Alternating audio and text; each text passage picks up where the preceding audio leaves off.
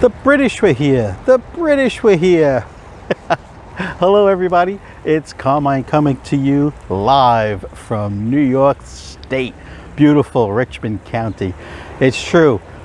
The British were there. The British were there inside that beautiful church during the American Revolutionary War. They used it as a hospital from 1775 to 1783. Hello, everyone. It's a beautiful April day. The sun is shining, and we are at one of the most beautiful, historic, oldest structures here in New York State, Richmond County, historic Richmond Town. Folks, this is the beautiful St. Andrew's Episcopal Church. Folks, this stone building has been here since 1708. It's lived through the American Revolutionary War. British soldiers were on these grounds. Wounded British soldiers were treated in this church. They transformed it during the war into a hospital for the British soldiers. Folks, if the British won that war, I might have a fantastic British accent today. Who knows? All right, folks, what am I doing here today? What are we discussing? We are going to discuss the Nikomat, not Nikkormat. This is the Nico mat. Folks, this camera is absolutely gorgeous. It's the 1965 Nikomat FTN. Folks, this is an all metal 57 year old fully mechanical camera brought to you by Nikon under the brand Nikomat or Nicomat. Yes, now in America in 1965 you can only buy the Nikkormat, N-I-K-K-O-R M-A-T. In Japan they sold the Nico mat. Now they've done this before. Nikon loves to sell the same camera under two different names or models. And that is strictly for one reason, folks, warranty. If you bring a camera for service, the Nikomat, into America, they say, nope, that's Japanese camera, Japanese warranty. They've done it with the F-Series cameras.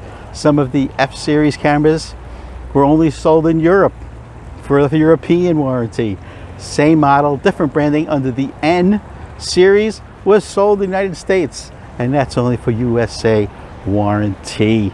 So we're here on this historic place, St. Andrew's Episcopal Church with an historic camera.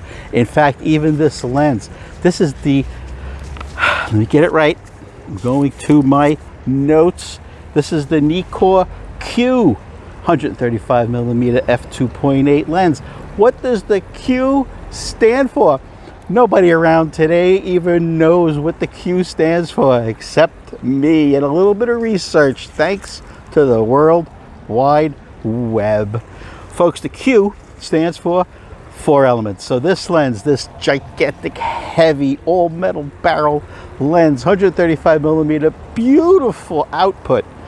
The Q stands for four elements. But Nikon, you know that, they didn't stop there. If you bought a Nikkor T lens, it had three elements. A Nikkor P lens had five elements. The Nikkor H had six elements. You see where this is going? The Nikkor S lenses had seven. Now that's not to be confused with the silent wave motor of today. We're talking about 57 years ago. History, folks. If you bought a Nikkor O lens. It had eight elements. And the Grand Poobah Nikkor N lenses had nine elements. Folks, today we're here in the grounds of St. Andrew's Episcopal Church in historic Richmond Town with the Nikomat FTN. We're shooting Fomapan today. We're going to take a walk. It's a beautiful sunny day. We're going to take photographs of all the structures that I've taken today and previous days with this camera, with Fomapan, with this lens, developed in D76, this photographer's go-to black and white film developer, Kodak D76. I've been using it since the 70s and it has never let me down. Let's continue a little bit. This camera, 57 years old, folks, it goes up to one one thousandth of a second, but there's no shutter speed dial on the top of the camera. It's located on a ring around the lens barrel uh, mount. You change the shutter speed here on a dial. When you change lenses, the lens comes off and the shutter speed dial stays. Let's keep going. The camera has what they call crab claws for the aperture index right here. Uh, what else? No cloth shutter feathers camera, all metal shutter blades. Let's keep going. Oh, the cold shoe. This cold shoe is an accessory. Nikon did not include a built-on, built-on cold shoe back then. You had to buy it as an accessory. And on top, folks, this is the Voigtlander VC Meter 2. It's the only other light meter I can recommend besides the Sekonic brand of handheld light meters. Folks, if you're gonna get a handheld light meter, which you need with this camera, even though it was made 57 years ago with a built-in light meter, you need an external light meter because folks, 57 years ago it was accurate. I would not use it on expensive film today. That's why you use a new uh, Voigtlander handheld light meter or Sekonic handheld light meter. Let's keep going. Okay. Just going over my notes. Okay, we've tackled everything I wanted to tell you today about the beautiful Nikomat FTN all metal construction that's where the battery would go. Let's see. Oh, right here. That's where the battery would go for the built-in light meter, which, as I mentioned before, I wouldn't trust it these days. 57 years later, after it was made, those cells are tired. They want to retire. Use an external light meter. Your film will thank you for it. All right, guys. Uh, one last thing about the uh, Nikkor Q lens that I think is just awesome. Besides being all metal, it has a cam locking built-in lens hood. Cam, you stick it out and you give it a twist and it locks in. So many of the lenses today that have built-in lens hoods, I think they're smart. It just comes out and before you know it, it's worked its way back in and you have no more lens hood. You have to constantly keep pulling it out uh, this camera, because it's all black body, is coveted. They're on eBay. We expect to pay a couple of hundred bucks for it working in tested condition from a seller that has 100% feedback or no lower than 99.2. Remember, you want to get a camera on eBay, whether digital or film, that says working and tested. Credibility, folks, it's what it's all about. I personally look for a seller with 100% feedback and thousands of feedbacks, not just two or three. This camera came from Japan because it was only sold in Japan. The Nikko Matte FTN, all black body, still works. Listen to that shutter. Works perfectly. I hope the sound is a little bit better since I put on this uh, microphone muffler from the wind noise. A lot of you guys complained last time when I was at the waterfront shooting at the ferry. Uh, that was a very popular episode, I might say, uh, when we discussed Vivian Maier, and rightfully so. What a fantastic street photographer. Unfortunately, she didn't know she was fantastic.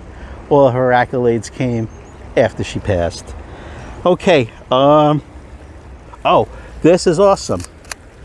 depth of depth of field preview button right here, right? That's when you have your lens set, let's say at f16, okay? So it's always wide open so you can focus. But if you want to see your depth of field when it's shut, closed down the aperture, you just press this button over here. It's right next to the shutter button. How convenient, how perfectly placed. Check your depth of field, boom, take the picture. Check your depth of field, boom, take the picture. You can hit the shutter button with the middle of your finger and check your depth of field with the tip of your finger. Check the depth of field, boom, done. Unbelievable engineering from Japan 57 years ago. Highly recommended. All mechanical. There hasn't been a battery in here in 10 years since I bought it. You don't need it. Get an external handheld light meter, or in this case, the Voigtlander VC Meter 2 goes right, slips right onto your cold or hot shoe. But remember, always put a little bit of gaffer's tape. You don't want your hundreds of dollars to fall on the ground. All right, folks, it's been a pleasure talking to you today. Five rules. Comment below, thumbs up, subscribe to this channel, email me, Carmine Taverna. Oh, sorry, email me at black and white photo at AOL.com. Email me any question you have about photography and our sponsor, CarmineTaverna.com. Free, now free is free, free website. All it does is inspire you to take photographs of things you never had any idea and what gear you would need for each of those shots. Folks, I have thousands of my photographs on that site, CarmineTaverna.com. Go through it. Go through one page, go through 300 pages, and absorb all the ideas that are there for different things to take photographs of. Sometimes you do get writer's block equivalent photo block. You just don't know what to take photos of. All right, guys, thumbs up, subscribe. Now, let's look at the photographs taken with this Nikkormat FTN camera and this lens, the 135 Nikkor Q lens on these beautiful historic grounds where the British were during the American Revolutionary War in the 1700s. And if they had won, I'd have a great British accent. All right, guys, take it easy. Let's look at the photographs taken with the classic historical Nikkormat. Let's look at those photographs right now.